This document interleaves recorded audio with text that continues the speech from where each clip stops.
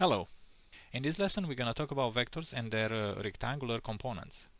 We already know how to apply the uh, triangle method to add two vectors. But if these two vectors are perpendicular on each other, it's even easier to add them together in order to find the resultant.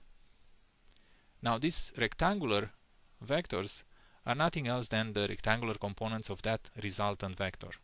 As you can see on this diagram, the resultant R has two components. I'm going to call the horizontal component RH and the vertical component RV. I'm even going to say that this resultant vector forms an angle theta with the horizontal component. And if so, then I can use trigonometric identities to define the magnitude of these components. So the magnitude of the horizontal component RH is going to be the magnitude of r times cosine of the angle theta. While the magnitude of the vertical component is going to be the magnitude of r times sine of theta. We can also use Pythagorean theorem and vector addition. Just everything that we already studied in the past. So keep in mind that you can uh, resolve any vector into its rectangular components, just like I did here. Now, you will encounter a lot of problems in which you have two vectors that are acting on an object.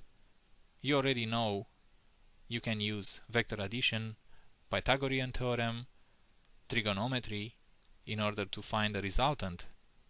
You're also going to be facing problems in which you will encounter another vector called the equilibrant vector, which is nothing else than the vector that is the opposite vector of your resultant. So that's basically what you should should be aware. A couple of new concepts and uh, terminology that you will encounter.